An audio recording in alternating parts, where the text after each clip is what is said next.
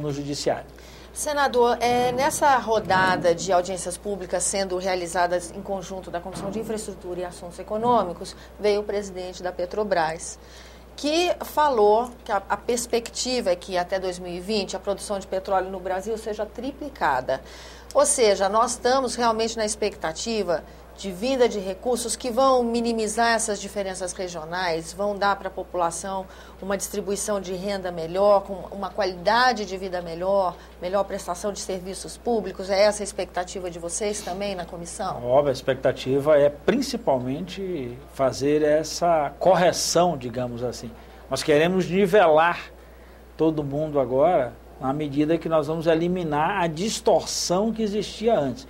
Então foi importante que o presidente da Petrobras nos trouxesse esses dados, o que, que a Petrobras processará até 2020.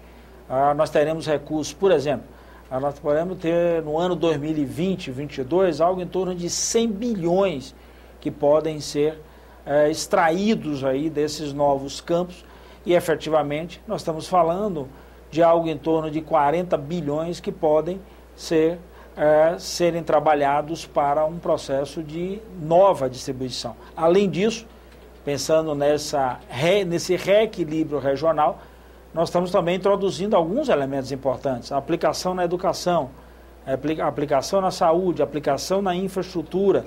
Para você desenvolver né? é, novos ambientes e principalmente na área de desenvolvimento científico e tecnológico, que aliás essa área foi a área preponderante e decisiva para que a Petrobras chegasse onde chegou. Foi com o desenvolvimento científico e tecnológico que a Petrobras se tornou hoje, inclusive, uma das maiores empresas no mundo é em perfuração né? em águas profundas. O pré-sal nós estamos falando em 7 mil metros, ou seja, 7 quilômetros abaixo da lâmina d'água.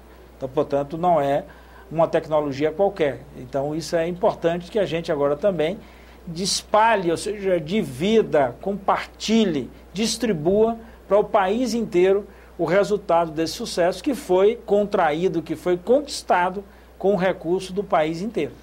E fazer dessas aplicações maneiras de multiplicar essa riqueza, né, senador? Você vai estar promovendo, inclusive, novas descobertas, novos campos, ou até no lugar onde não tem a possibilidade da prospecção, você pode ter a instalação de outras frentes, estaleiros, unidades de produção, refino, área de petróleo petroquímica, área de fertilizantes, ou seja, o que é que deriva desse universo uh, petróleo estabelecido por nós. Mas é bom também imaginar novas prospecções, porque você também tem rios demais nesse Brasil, e por onde o rio passa, ele leva muita matéria orgânica que depois ali num processo de decomposição ela vira esse petróleo. Então, portanto, nada melhor do que ah, aproveitando esse desenvolvimento científico e tecnológico, a gente fuçar petróleo em todos os cantos desse país. Senador, para encerrar a nossa entrevista, uma pergunta. Aqui hoje, no dia 1 de setembro, o senhor já arriscaria mais ou menos dizer como é que será esse critério de distribuição ou ainda é cedo para começar a arriscar palpite aqui? Não, eu diria que é prematuro arriscar o prematuro. palpite, né? mas uma das referências, óbvio, é a referência do fundo de participação. Aliás, dos dois fundos, o fundo de participação nos estados e o fundo de participação nos municípios. Até porque as regras para a utilização e a chamada distribuição desses recursos são regras que levam em consideração as disparidades regionais, o índice de desenvolvimento humano. Então, esses parâmetros, com certeza, serão utilizados e comporão aí a cesta de indicadores e de parâmetros para que a gente possa fazer a justa distribuição dos royalties do petróleo sem prejudicar nenhum estado produtor a, a partir da distribuição de hoje.